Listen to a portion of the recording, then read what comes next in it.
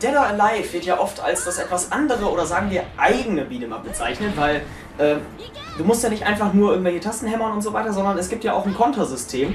Das ist eine eigene Taste, kontern. Das heißt, wenn dich irgendwer tritt, kannst du ihn einfach packen und durch die Gegend schmeißen. Und wenn da gerade an der Stelle zum Beispiel noch ein Fenster ist oder so, dann kannst du ihn einfach aus dem Fenster schmeißen und dann geht's auf der Straße draußen weiter. Und das ist halt eine ganz coole Sache. Ähm, dafür ist die Serie auch bekannt. Das ist allerdings nicht das einzige, wofür die Serie bekannt ist. Ähm, ich sage mal, den größten Ruhm hat die Serie heutzutage wegen dem, ich nenne es mal... Wabbel, wabbel, schwabbel, schwabbel. Faktor. Ja, die Dead or Alive-Reihe bietet sehr viel plastisches Volumen mit physikalischer Genauigkeit. Zu Deutsch heißt das so viel wie, da gibt es ordentlich wackelnde Vorbauten.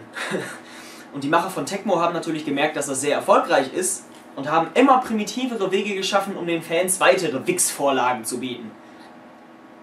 In Teil 2 auf der PS2 und Xbox zum Beispiel gibt es eine Art-Galerie, die teils sehr tiefe Einblicke gewährt und ab dem Teil konnte man für alle Charaktere eine Menge Kostüme freispielen, aber bei den Frauen ist dieses Repertoire natürlich um einiges größer. Dieser Wabbel, wabbel, schwabbel, schwabbel. Faktor ist also reiner Fansupport und äh, ich will es gar nicht wirklich sagen. Dieser Fansupport hat eine eigene Serie bekommen und zwar Dead or Alive Extreme Beach Volleyball.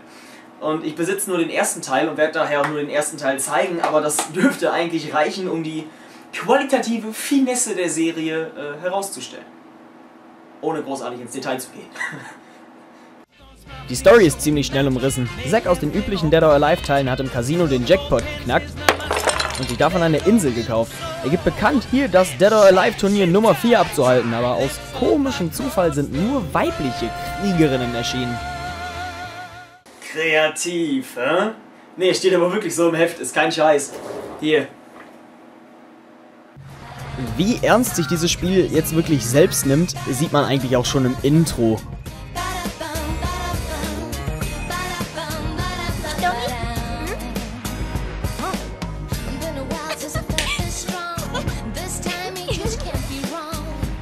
So, und jetzt habe ich richtig Bock, das Dead or Alive Tournament Nummer 4 zu bestreiten. Kämpfe noch und nöcher um Leben und Tod.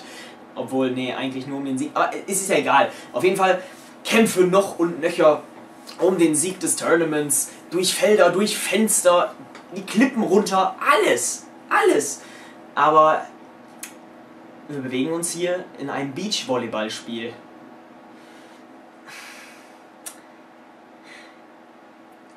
Alle eigentlich Kriegerinnen, die gekommen sind, sind jetzt Freunde und tollen rum und haben Spaß.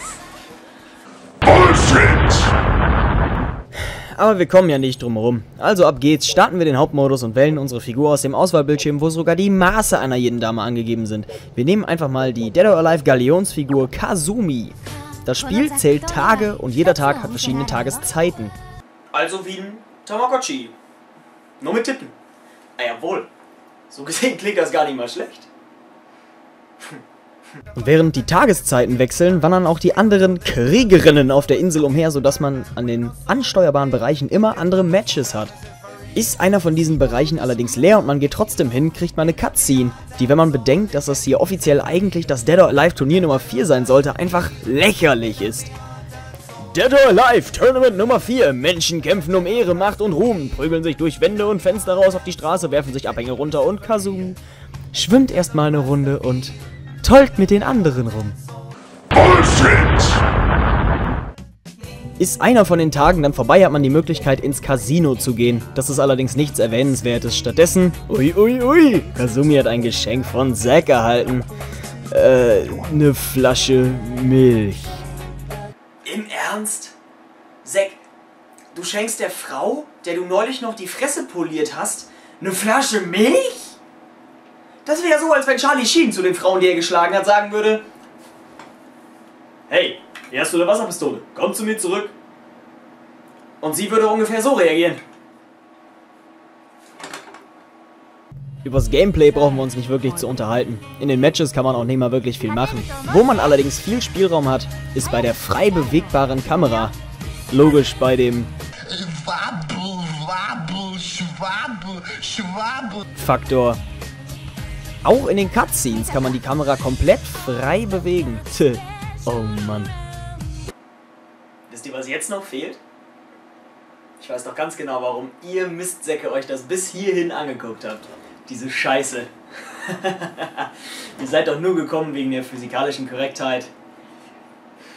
Hier ist live das Hüpfspiel. Und ja, es heißt wirklich so.